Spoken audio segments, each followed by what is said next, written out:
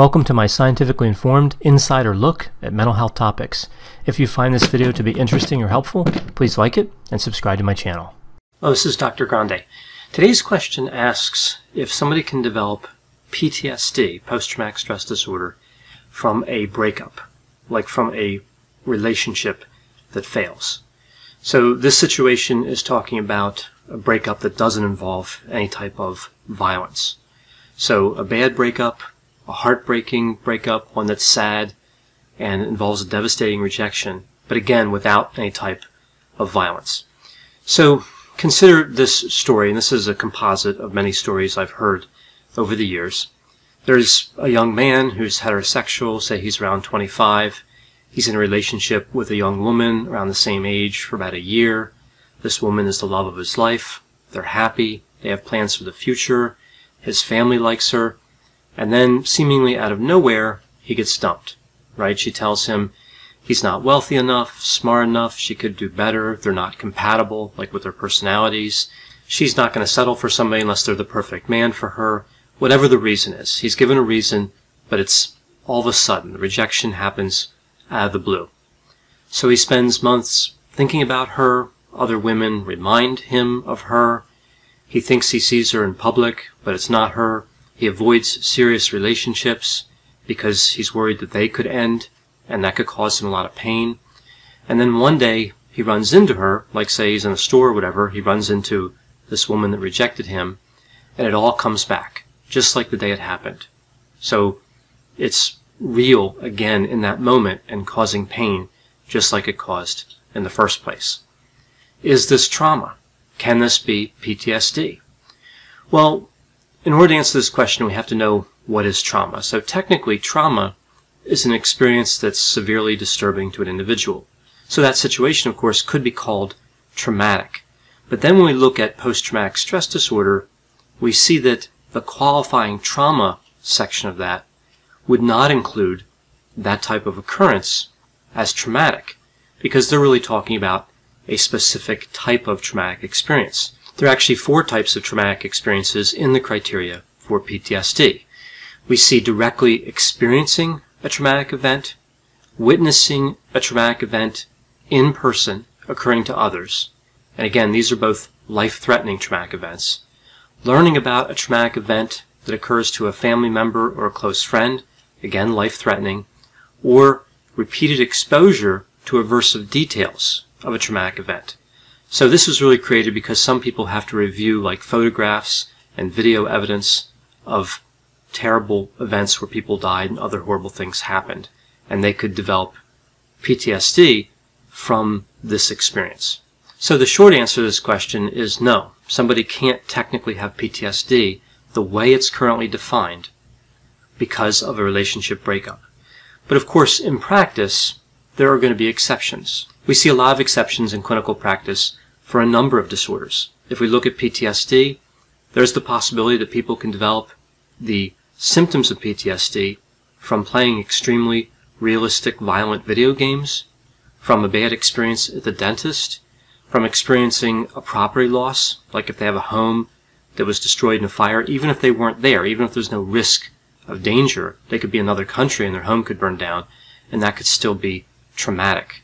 So PTSD, the diagnostic category, was specifically created to be kind of narrow, only looking at kind of life-threatening traumas.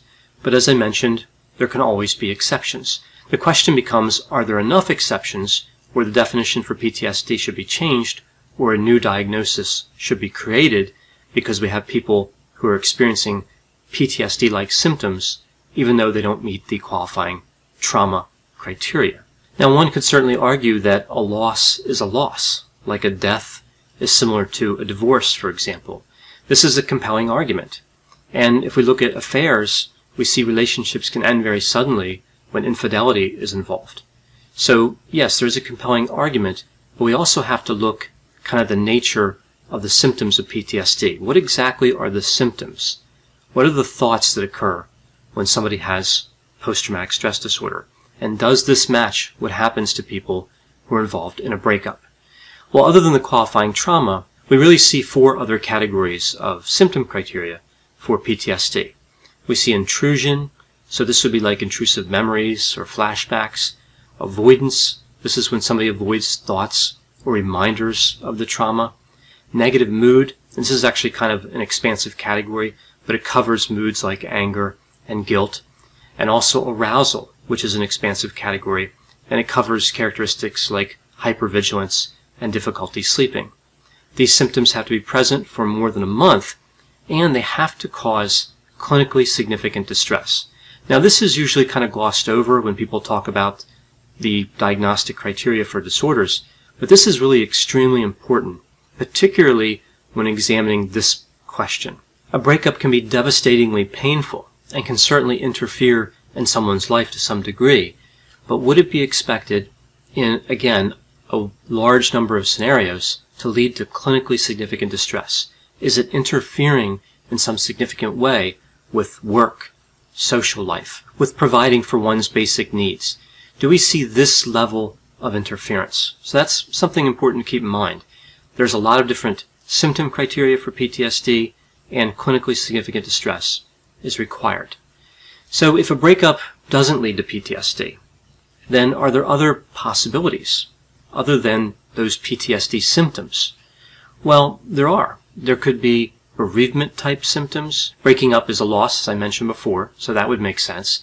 It could also be an exacerbation of existing symptoms. So the experience of the breakup, the devastating loss, could be another mental disorder that's been aggravated, like generalized anxiety disorder, major depressive disorder, bipolar disorder, substance use disorder, and also a number of personality disorders could be exacerbated by a breakup, like borderline, histrionic, narcissistic, or avoidant personality disorders. We could also see adjustment disorder. Now, a lot of times adjustment disorder is kind of minimized and kind of thrown to the side, like, oh, adjustment disorder isn't a real mental disorder. But it is a real mental disorder, and it comes with serious consequences. And a breakup could, in some cases, lead to adjustment disorder. Another thing to consider is depending on the severity of the symptoms, it could be normal. People can suffer quite a bit and still not meet the criteria for a mental disorder.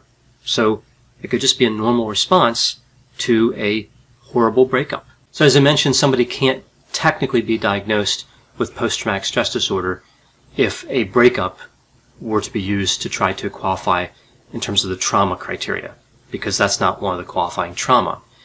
But another question here would be, why does this matter? If people believe they have post-traumatic stress disorder because of a breakup, why not just let them have the diagnosis?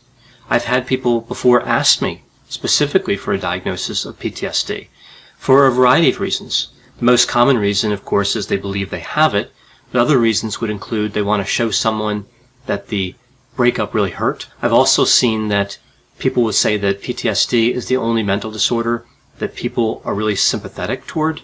So they want that diagnosis so that people will kind of sympathize or empathize with them. And this really speaks to, I think, the need of society to have a better understanding of mental disorders and treat all of them as serious and treat all people with mental disorders with compassion. I don't think we want to get in a situation where some mental disorders are favorable to have relative to others. Of course, most people don't want to have any mental disorder, but again, talking about the relative positions of mental disorder, PTSD seems to be in a better place in terms of the way it's viewed. So with all this in mind, can we just give out the diagnosis when people ask for it or when they have the symptoms without the qualifying trauma? Well, in order to answer this question, we have to look at the other side too. I've worked with people who have PTSD for more traditional reasons, like the ones that are currently in the DSM now, that are defined now. So combat veterans, people involved in motor vehicle accidents, people who were violently assaulted, and they believe, sometimes, that it's insulting to minimize the diagnosis by giving it to people who don't have a qualifying trauma. Many are upset that the current qualifying traumas are too broad even the way they are now. For example, the exposure to aversive detail qualifying trauma or the family member qualifying trauma. A lot of people with PTSD do believe those are too expansive, again, even now, the way they're defined currently. So to add things like breakups would really be insulting to many people in this group. So we have kind of both sides to consider here. We want to provide good care to people who have been involved in breakups and have PTSD symptoms, but we also want to respect that PTSD was defined a certain way for a purpose. And this really gets into the answer to this question. Mental health clinicians can validate feelings while using the correct diagnosis. We don't need to use a certain diagnosis in order to empathize with people. Different diagnoses have different treatments associated with them. So another way to think of this is if somebody has the wrong diagnosis, that could lead to the wrong treatment. And also if we think of different types of treatment, like if you had a group of people with PTSD, and some again were combat survivors, victims of armed robbery, victims of car accidents, and you put them in a group with people who have the symptoms because they were in a breakup. That might result in kind of a mismatch in terms of seriousness. I think a combat survivor would have a pretty good reason to say that their experience is much different than somebody who experienced a breakup. And then one could argue, well, why not make a group for just people involved in the breakup who have PTSD? Well, the difficulty here becomes there's not enough people in this category to put together in a certain area into a group. So it just becomes a matter of logistics. So it'd be difficult to find that number of people to form that group. Something else to consider is that if PTSD can have any traumatic event is etiological, so as causal, then do we need another term for the types of traumas that are life-threatening? So do we end up expanding PTSD to cover kind of everything in terms of traumas, and then having to make a new diagnosis to cover what the old version of PTSD covered? And then if we do that and we have PTSD for life-threatening circumstances, another PTSD for breakups and other non-life-threatening circumstances, what happens then? Do we see an expansion of the life-threatening trauma type PTSD and we just end up in the same situation all over again? So there's really a lot of questions here in terms of why it's important the way we conceptualize PTSD. Another consideration here would be with post-traumatic stress disorder, like if somebody's involved in combat or say they were racing a car and they were in an accident, most clinicians would say you probably shouldn't do that again. You probably shouldn't get involved in combat again, like go back into the military. You probably shouldn't continue auto racing. Like you should probably avoid something that could easily lead to re-traumatization. Well, if relationships, if a breakup could qualify in terms of PTSD, would we start telling people not to get involved in new relationships? So there's some other kind of ramifications to broadening PTSD to cover everything. So what's the bottom line here? Can somebody develop PTSD, the symptoms of PTSD from a breakup? I think you could make an argument that yes, that could happen, although I would expect it to be rare. The next question would be, should we redefine PTSD to capture this?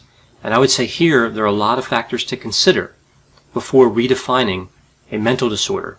So as I mentioned before, there's a lot of things to really think about, and there's consequences to these different types of changes in the definition for PTSD that could be made. So we just have to be aware of those consequences. Other possibilities would be to capture a presentation like this with a different diagnosis. I talked about that. And maybe to make a new diagnosis, but that's something that the authors of the DSM will have to consider for the future. And there are some different conversations going on, I believe, about how breakups and relationships ending badly can result in distress and symptoms. I don't know if any of these conversations will result in a new disorder or anything like that, but this is a dialogue that has been ongoing. So one last important point I'll make here. If somebody has a breakup and they end up with the symptoms of PTSD and they otherwise would meet the criteria for the PTSD diagnosis except for the trauma doesn't match, that doesn't mean that a mental health clinician can't treat them. And it doesn't mean that the mental health clinician can't use treatment specifically designed for PTSD. If a mental health clinician understands the symptoms that are going on, and they understand it could be PTSD, even though they technically can't diagnose it, they can still offer treatment to help that individual through those post-traumatic stress symptoms. So treatment is still possible, even if we don't really necessarily have the correct diagnostic categories available to capture this construct.